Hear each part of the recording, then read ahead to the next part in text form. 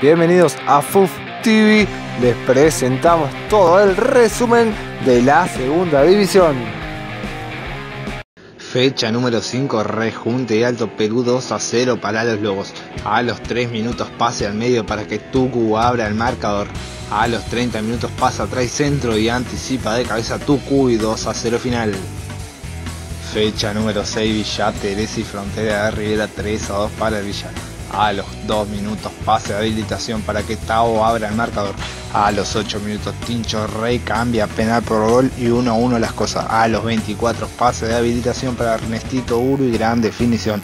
A los 71 cambia penal por gol nuevamente Tincho Rey y a los 80 el 3 a 2 final de Santi. Cerro largo y potencia 1 a 1 el marcador.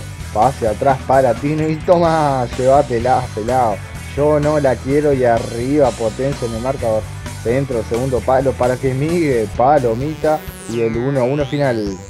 Plaza Colonia y la Bufarra 5 a 0 para la Bufarra. A los 17 minutos, dos cabezazos en el área son gol y Paul WhatsApp pone el 1 a 0. A los 25 misma fórmula solo Tucan y el 2 a 0. A los 54 nuevamente de cabeza Tucan. A los 68 pasa al medio para que Paul WhatsApp ponga el 4 a 0 y a los 80 hack de Tucan 5 a 0 final.